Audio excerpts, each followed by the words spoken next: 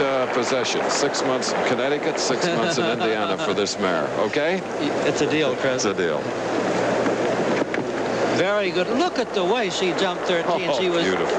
two feet over it. Good round going.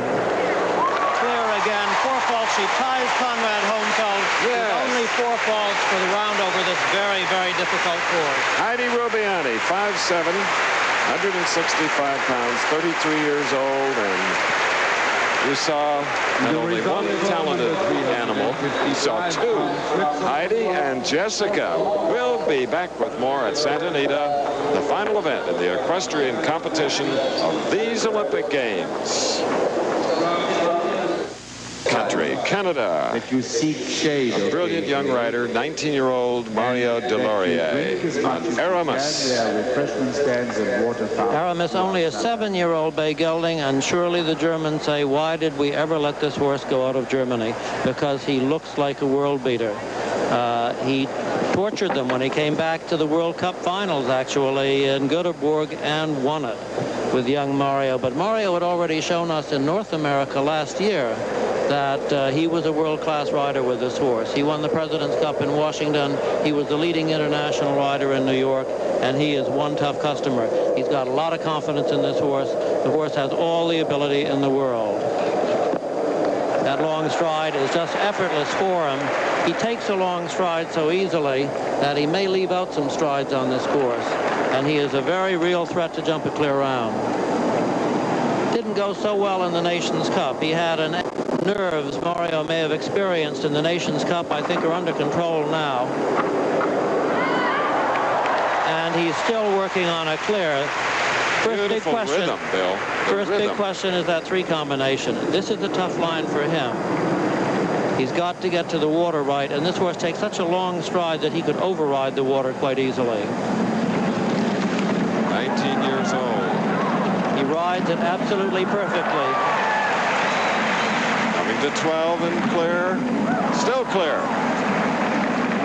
Still clear, and the last two fences are not impossible to jump cleanly at all. Looks like our first clear. What a jump he made over 13. But it fell. He stood back too far at that. So it's another four, the third four-fault round to join Conrad Homfeld and Heidi Robbiani.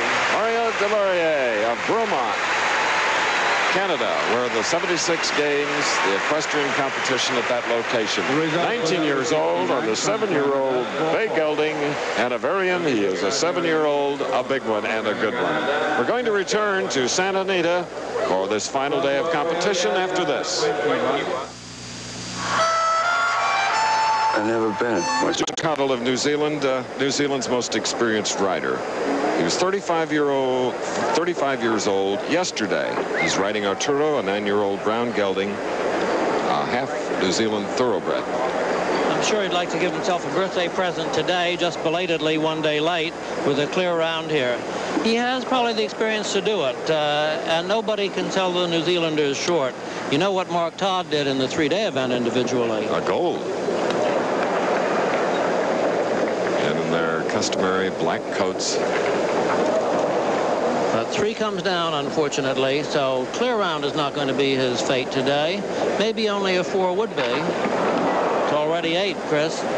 Doesn't look like it. So little time, so many fences. They come down so easily. There's a big score working for John Cottle. That refusal, three penalty points. He's got to go back now and jump the whole combination again. That's the way it is under the rules. They're going to add eight seconds to his time, whatever his time is. Uh, it's going to be a pretty big score, I'm afraid. John Cottle of New Zealand, a farmer and a contractor back home. Let's replay the last happening. He little bit tight to the first one, so he didn't land very deeply, took a stride, and he was so far away from the second fence that he really had no chance to jump it. And the same thing happens again. They will reset the fence yet again, and he has to try it for the third time. If he gets another refusal, of course, he's eliminated, Chris. And of course, this shakes up the horse, doesn't it, Bill? Has to settle him down now and settle him down or crank him up, one or the other. You've got to do something different. I would say you jump up and down and you hope you get through it the third time, but uh, he's just uh, riding really for his own personal mm -hmm. satisfaction to finish the course somehow. It turns out that he can't do that. Three refusals, and the third strike you're out in this sport, Chris. Yes, John Cottle of New Zealand, but he did participate All right, we're going to be back here at Santa Anita.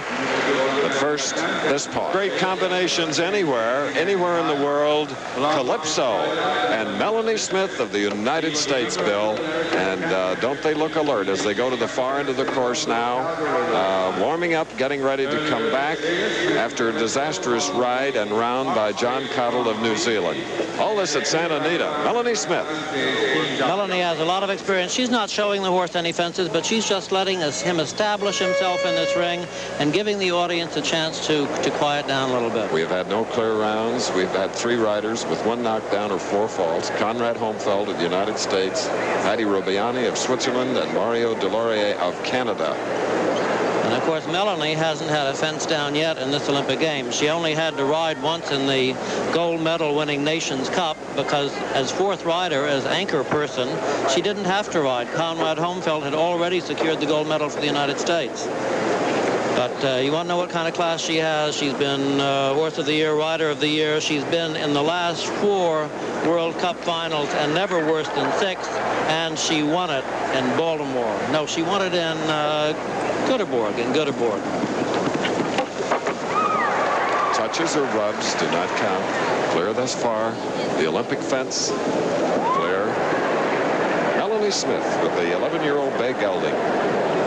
And he's Dutch bred. He is a lucky boy. And the lucky boys can jump. Melanie says Calypso has more than a fair amount of intelligence.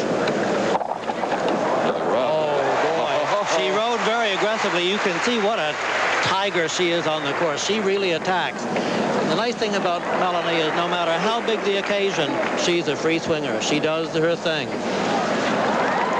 So pleased with that team gold medal. Here is this critical three combination. This is really the heart of this course. Come on, Calypso. Oh, through it. Still clear. Now going to number nine, Melanie Smith.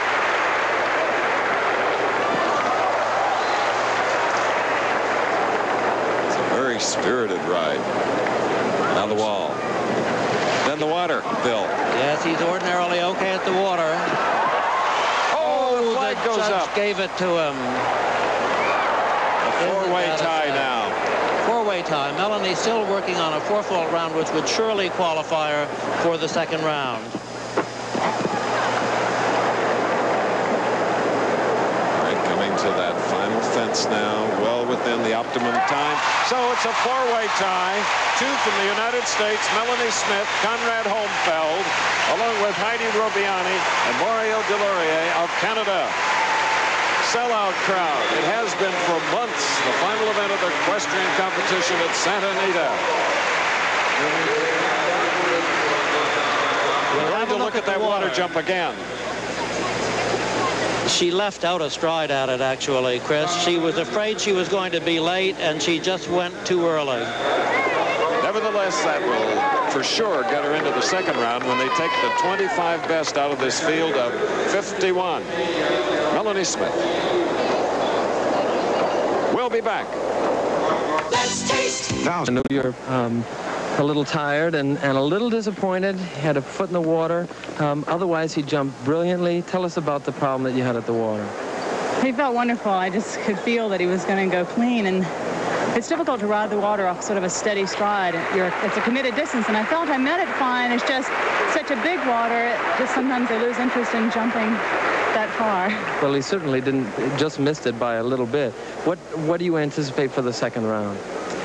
I'll just ride it the same way, but a little extra spur or stick or whatever I can do at the takeoff to try to get him across. He just barely hit the tape. I don't think he even stepped in the water. I mean, he just barely missed it, so I, I think I can get it the next time. Melanie, some of the horses look a little tired. He certainly doesn't look like one of them. He looks like he's fit. He looks like he's feeling great. Does he feel good to you? He does. He, he's really fit coming into this, and he just felt really fresh. He felt great in the ring. He didn't feel tired. Well, he certainly looked terrific, and uh, thanks for coming down and talking with us. And now back back to you, Chris. Thank you, Tad. Homfeld, Robbiani, Deslauriers, and Melanie Smith tied for the top spot with four penalty points each. We'll return to Santa Anita after that. Two fences down with an eight. So he's a tough competitor. He's a very, very talented person. Nice build for a rider. He's a little bit better built than his brother John, who is even more famous. His brother John has been a hero. 25 lowest scores. You may just pick up on the on the screen the funny little thing under her stomach. She's got kind of a I'd call it a tummy protector. She folds her legs so tightly that she sometimes hits herself in the stomach, and they have a leather pad there to prevent her from bruising herself with the caulks of her front shoes. Princess Anne, three-day eventer at the 76 games in Montreal and very active here in these games, moving around to do medal presentations. Oh, boy. Oh. Through the hard three combination, and she was a foot over C. She jumped that really beautifully. Princess Anne came here the right day to see a man from Great Britain clear at this point. Tough line here. Jumps the water cleanly. And now coming to the last line, only two more fences to go and working on a clear. Beautiful jump over 13. He loses his pedal for a second, but gets it right back again. Coming to 14, perfectly attentive. Leaves it up, and it's the first clear round of the day for young Michael Whitaker of Great Britain. In the past, it has been West Germany, Great Britain, and France who have dominated the equestrian sport since the start of the Olympic game equestrian competition in 1912. And now the first clear round, and this came with the 40th rider, the 24-year-old younger half of the Whitaker brother combination from Great Britain. Five tied with one knockdown or four penalty points each. Michael Whitaker, the first clear round. To take a look at a key American rider, Joe Fargis, in just a short while. But meanwhile, platform diving is up. Fargis from Petersburg, Virginia, in the team competition, two clear rounds, helping his team to win the first team gold medal ever. Joe Fargis riding, Bill, here's another mare that we'd love to have. Touch of class. She really is just super. And Joe Fargis has made such a wonderful combination with her. How would you like to be coming to the individual without having had a fence down in the Olympic Games after the team competition? That sounds as if the Tooth Fairy gave you the right kind of present. And in team, he was leading off for the United States team. Now he's the 49th rider in a field of 51. Michael Whitaker with the only clear round. Uh, there are five with four faults, including Melanie Smith and Conrad Homfeld. Each nation allowed three to compete in this, the individual competition, and the final event of the equestrian events here. Two rounds. This is the first. They will cut the field to the best 25. It'll be a different course. Different and bigger. And if then they're still tied, there'll be a jump off against the clock. Let's see if Touch of Class is in the same kind of form today that she was in during the Nations Cup. She rubs that. That may help her. That may help her be a little bit tidier in front. If you can bump a fence and not tear it down, it may remind the horse be a little bit tidier. Optimum time 108 seconds. I think Joe will have no trouble with the time allowed. He asks her to jump in carefully, and she does, and she jumps out beautifully. Got a rhythm going, so delicate. He makes a very good move there to reorganize before this big oxer.